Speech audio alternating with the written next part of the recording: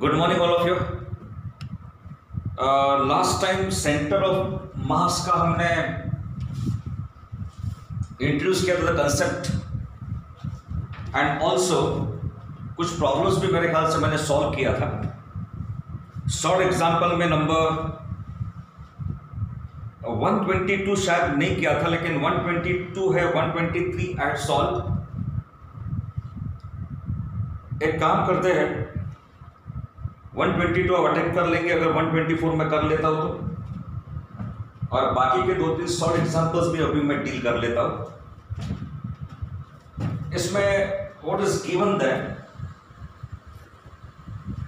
in HCl molecule the separation between the nuclei of the two atoms is about 1.27 find the location of the center of mass of the molecule given that chlorine atom is about 35.5 times as massive as hydrogen and nearly all the mass of the atom is concentrated in the nucleus.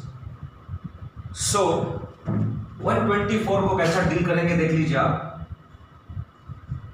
in this 124 let us say we have this hydrogen atom chlorine दोनों के बीच में distance है 1.27 angstroms centre of mass will be definitely closer to the molecule heavy item यहाँ पर है centre of मास से इसको मैं बोलता हूँ as A and this is your B इनका यह भी कहना है कि mass of chlorine is 35.5 times the mass of hydrogen. That's it. It is given to you. तो सेंटर ऑफ़ मास निकालने का तरीका आपका कैसा रहेगा सिर्फ़ दो पार्टिकल्स ऐसा मान लेंगे अपन ये डिस्टेंस अगर मैं लेता हूँ as R one and this is as R two हम बोलेंगे MA into R1 is equal to MP into RB that will also solve the problem. फिर अल्टीमेटली उसका डिस्टेंस भी निकाल लेंगे हम। तो let's see how to work with this एक काम करता हूँ मैं इसको। वन एंड टू करके मार्क कर लेता हूँ। Mass of chlorine and this is mass of hydrogen तो यहाँ पर आएगा हमारा M1R1 is equal to M2R2 ये फॉर्मूला यूज़ कर सकते specially for two particles centre of mass two particles का निकालना तो फॉर्मूला यूज़ कर सकते हैं। R1 मुझे निकालना है। So that will be equal to M1 R1 this is equal to M2 R minus R1 ये डिस्टेंस R2 कितना रहेगा? R minus R1 and so we have M1 R1 is M2 R into M2R1. So we have this to be equal to M1R1 plus M2R1 is equal to M2R. So we have this R1 common nikal liya. This is what you get. And so we have R1 is equal to M2 upon m1 plus m2 into r. So we have r1 is equal to m2 का mass है 35.5 times m1 and this is equal to m1 plus 35.5 times m1 into r which is 1.27 extra minutes. m1 will get cancelled और मुझे मिलेगा R two is thirty five point five upon thirty six point five into M one M one cancel हो जाएँगे। Common निकालने के बाद यहाँ से multiplied by so well whatever the answer comes up to be equal to this will be slightly less than one point two seven by using the log table you can definitely solve this next problem जो मुझे deal करना है which is important year it is 125 यहाँ कैसा deal करेंगे देख लीजिए आप three thin walled uniform hollow spheres, the radii is given to as 1, 2 and 3 are located that the centers are on the three vertices of the equilateral triangle of side 10 centimeters. तो अभी आपको निकालना है we got to locate the centre of mass तो let us say सबसे पहले तो triangle बना देता हूँ मैं। Say this is the equilateral triangle इसको मैं ओरिजिन लेता हूँ।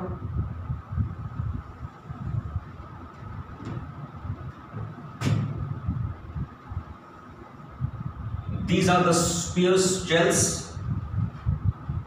इसका रेडियस सबसे कम है। A B and C mark कर लेता हूँ। This is A B and C इसको मैं लेता हूँ एज द ओरिजिनल लेटर से। तो मेरा इंटरेस्ट ये रहेगा अभी how to get the coordinates of the point तो सबसे पहले कोऑर्डिनेट्स ऑफ़ द पॉइंट लेने के लिए एक काम करता हूँ, मैं परपेंडिकुलर ड्रॉप कर देता हूँ यहाँ से, ऐसा। और एक बात, यह है मेरा Y axis this is the x axis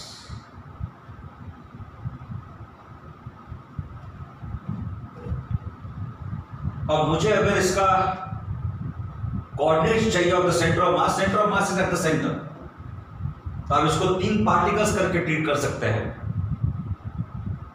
मासोस which decide ना तो अभी यहाँ पर देख लीजिए, इसका कोऑर्डिनेट क्या रहेगा? टेन सेंटीमीटर लेंथ है तो ये टेन ज़ीरो रहेगा। ये डिस्टेंस कितना रहेगा? This will be definitely equal to five centimetres तो इसका एक्स कोऑर्डिनेट आएगा फाइव सेंटीमीटर्स और वाई कोऑर्डिनेट निकालने के लिए क्या करेंगे? देख लीजिए। ये 60 डिग्रीज है। ए डी करके मार्क कर लेता हूँ मैं। I say that sine of 60 degrees is equal to AD opposite side upon AC. So AD is equal to sine of 60 into AC. Sine of 60 का मतलब होता है root three by two multiplied by ten तो आपको answer मिलेगा five root three that is equal to eighty तो इसका मतलब होता है कि वाई देख लीजिए height the Y coordinate is equal to five root three दो तीन बातें समझ लेंगे आप। इज़ इक्वेटर ट्राइंगल स्पीयर जैसे रखे। It is shown very clearly अब आप देखेंगे यहाँ पर इसको मैंने ओरिजिनल लिया तो ये बन गया ज़ीरो ज़ीरो एक्स कोऑर्डिनेट कितना रहेगा? दस और ये zero this is equal to five तो एक्स कोऑर्डिनेट बन गया फाइव और वाई कोऑर्डिनेट निकालने के लिए मैंने A D is equal to sine sixty into C you got this result I should do one thing now I rub this portion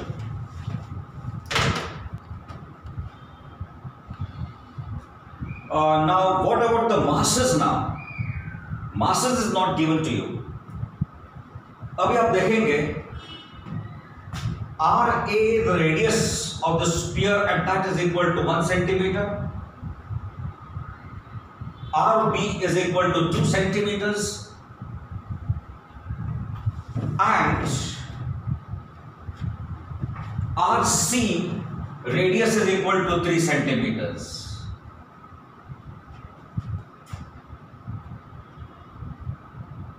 Now what is the surface area of the sphere? That is equal to 4 pi r square. देख लीजिए sigma is equal to mass per unit area. it is mass per unit area so that will be equal to total mass जो भी रहेगा उसका upon the area which is 4 pi r square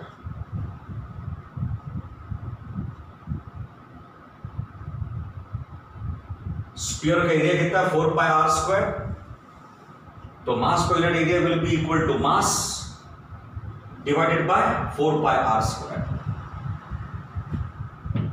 so mass of the sphere of radius one centimetre will be sigma into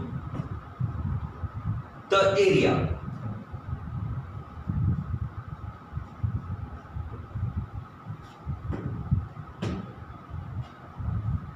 Mass of the sphere of radius 2 centimeter will be sigma into 4 pi into 2 square.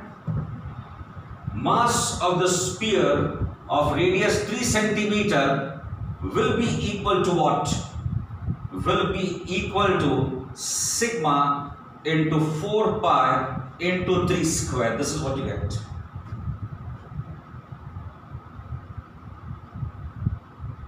तो अभी आप देख लीजिए mass of the sphere of radius one centimetre मैंने mark कर लिया as M A इसको mark कर लिया एज एम पी इसको मार्क कर लिया एज एम सी आगे बढ़ते हुए।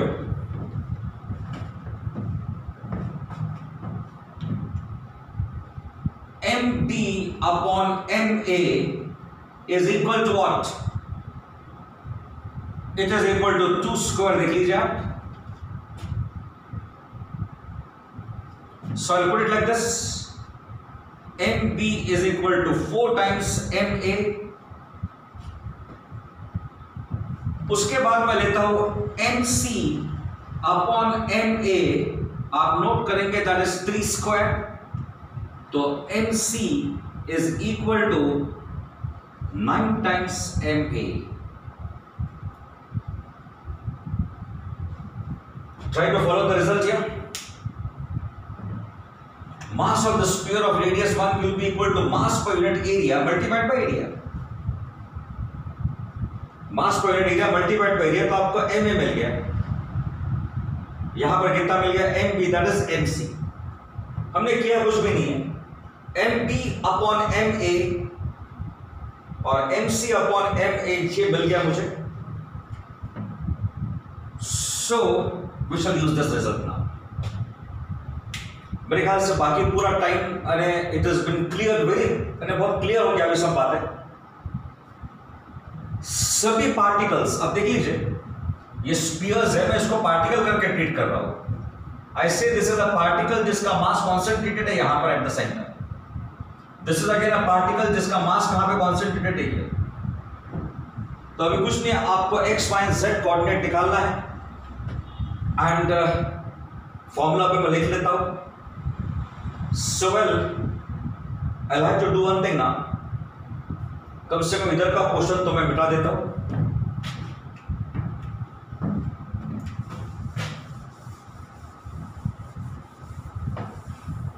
हाँ।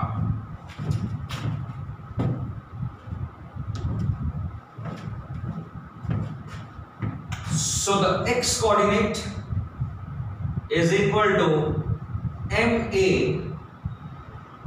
into X one करके लिखता हूँ मैं, या X A plus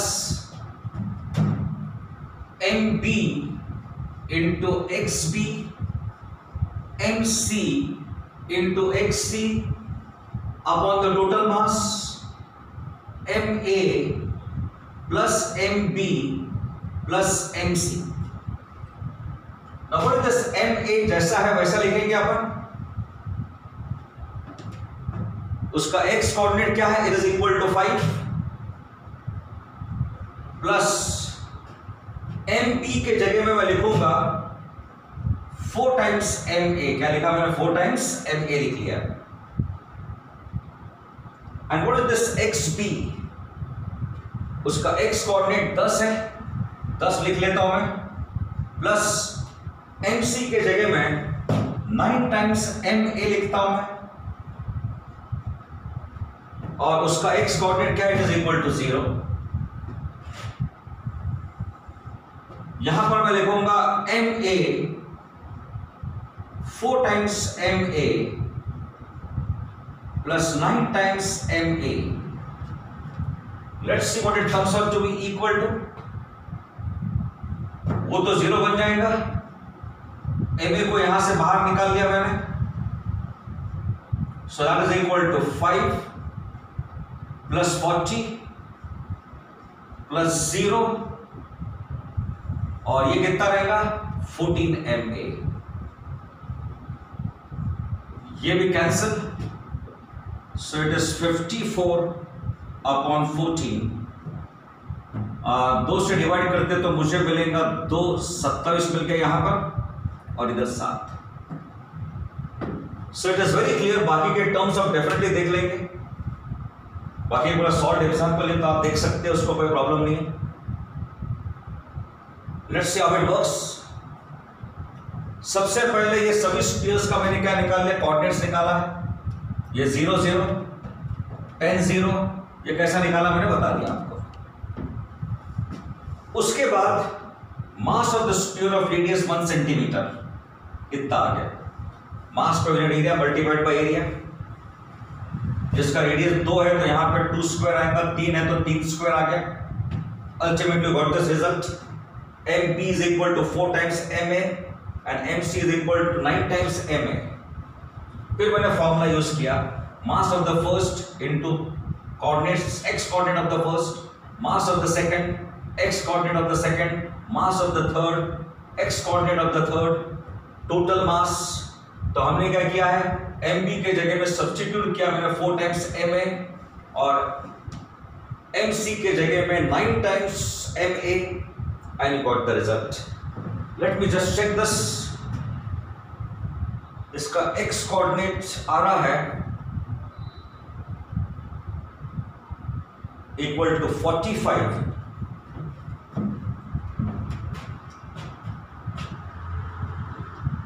well blunder is here it is 44 upon 14 which is 22 upon 7 तो बाकी का भी आप निकाल लेंगे।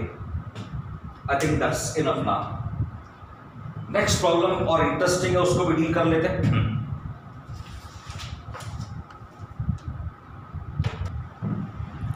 now for 126 locate the centre of pass of the three particles at the corners of the equilateral triangle मेरे ख्याल से यहाँ पर भी मुझे शायद डिस्कशन की ज़रूरत नहीं है। One twenty six number again it is an equilateral triangle here and say this is the equilateral triangle or uh, this is the x-axis here ये y-axis this is the x-axis here बाकी के कौन से particles कहाँ पर रखे हैं, उसके बारे में नहीं सोचेंगे ज़्यादा।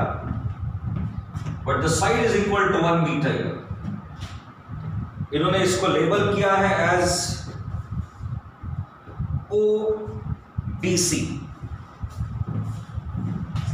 this is O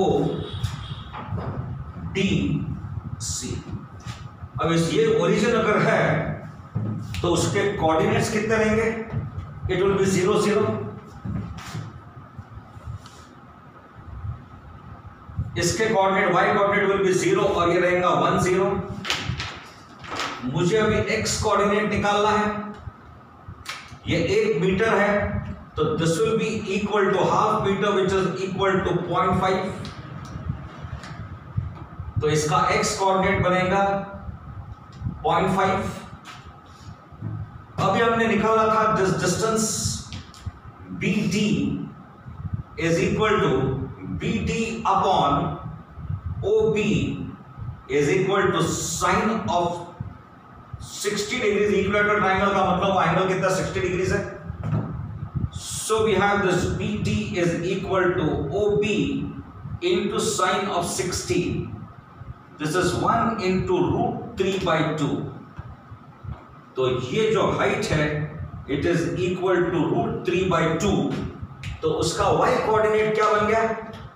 The Y coordinate has become equal to root three by two so well once to get the coordinates centre of mass निकालना बहुत सिंपल हो जाता है. M1, M2 एंड M3 ऐसा मार्क है?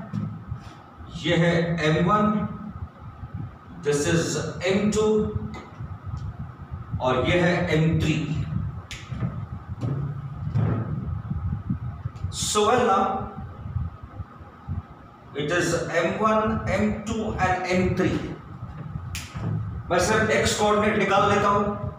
Let's say otherwise will find y coordinate the y coordinate is equal to m1 y1 plus m2y2 plus m3y3 upon the total mass m1 plus m2 plus m3 so y is equal to m1 which is 1 kg.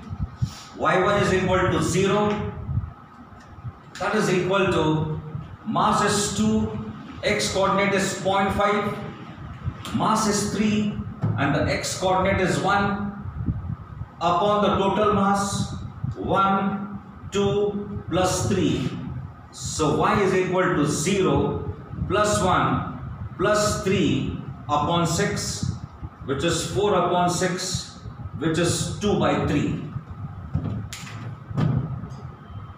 So the answer,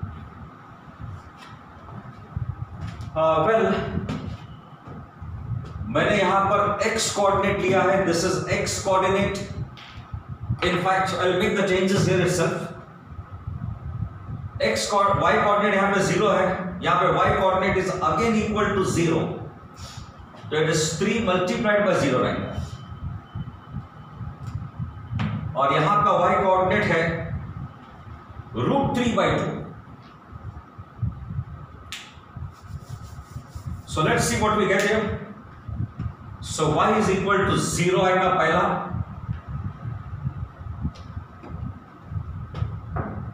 It is 0 root 3 plus 0 upon 6 so that is equal to root three by six the Y content आपको मिल गया। उसी तरीके से X content आप निकाल लेंगे to get the result so well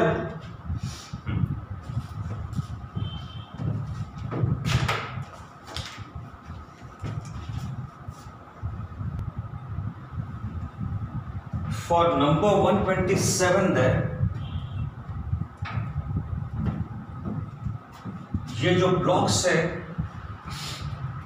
the mass of the individual block is equal to m. इसका सेंटर ऑफ़ मास आपको लोकेट करना है। अभी आप देख लीजिए by symmetry first box second and third इसका सेंटर ऑफ़ मास दो पे रहेगा। मैं यहाँ पे लिख लेता हूँ centre of mass of one two and three is at centre of two फिर से centre of mass of eight nine ten is at centre of nine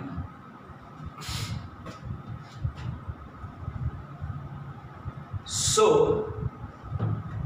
at this point 2 the mass which is located is taken as 3 times m this is also 3 times m reason मैं बता देता हूँ तीन block का mass है equal to three M so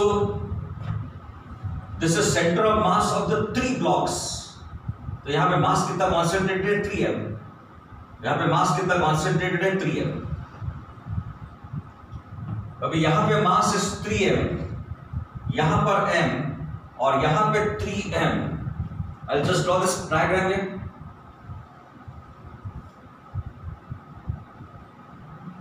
At this point 2 mass 3m है. At this point 6 mass is equal to M and and point nine mass is equal to three M तो इसका मतलब यह होता है six is centre of mass of three M and M and three M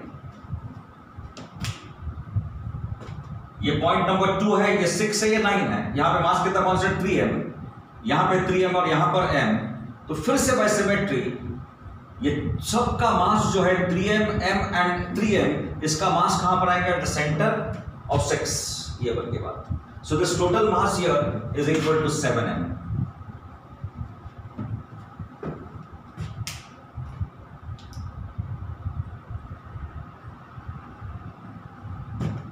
So looking at this direction here, यहाँ पे मास कितना is equal to seven और एक बात देख लीजिए अभी व्हाट इज़ रिमेनिंग चार ये पाँच सात। ये तीन पार्टिकल चार पाँच और सात। Centre of mass of four 5 and 7 is at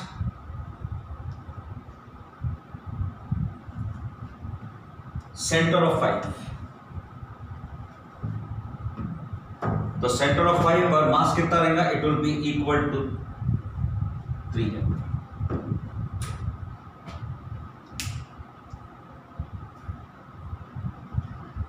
Uh, just let me repeat this part here. एक, दो और तीन। Centre of mass of one two and three is that two दो पर रहेगा। तो वह मास कितना कॉन्सेंट्रेट है? थ्री है। Eight nine ten centre of mass of eight nine and ten is at nine वहाँ पे थ्री एम आ गया यहाँ पर थ्री एम यहाँ पर एम यहाँ पे थ्री एम तो इसका सेंटर यहीं पर रहेगा एट सिक्स या टोटल मास कितना हो गया? Seven so at the centre of six mass कितना है? सेवन एम है. बच्चे गिनते अभी? चार, पाँच और सात. By symmetry of four five and seven is at centre of seven centre of five that is equal to three M रहेगा. तो सेंटर ऑफ़ मास अगर अगर निकालना है हमको to get the centre of mass तो यहाँ पर अल्टीमेटली क्या हो गया? सेवन एम ये इसको अगर मैंने ओरिजिनल लिया तो ये डिस्टेंस आता है एक सेंटीमीटर तो mass of seven M is located at 1 centimeter definitely from the origin.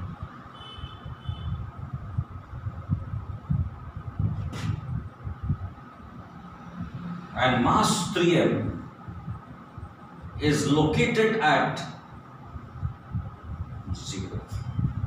original single area upon zero.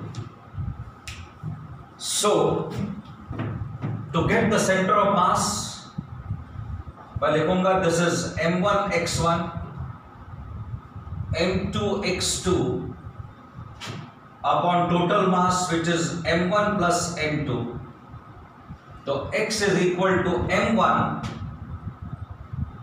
m1 में लेता हूँ थ्री एम लेता हूँ मैं। X कोऑर्डिनेट कितना? ज़ीरो है। दूसरा सेवन एम लिया। X कोऑर्डिनेट इज़ वन और ये रहेगा three M plus seven M so x is equal to 7m upon 10m so that is equal to 0.7 centimeters. तो आपका सेंटर ऑफ़ मास कहाँ पर रहेगा? 0.7 सेंटीमीटर फ्रॉम द ओरिजिन ध्यान दीजिए आप यहाँ पर प्रिसाइसली क्या हुआ देख लीजिए आप।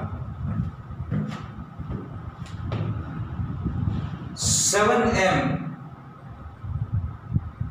is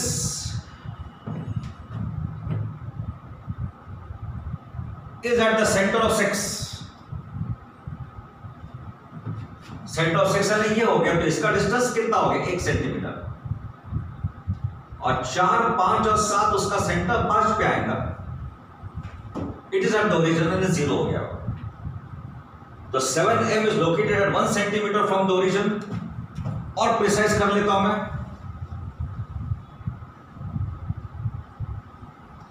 अलोंग एक्स एक्सेस कर लिया मैंने। और त्रियम कहाँ पे लोकेटेड है? Eight zero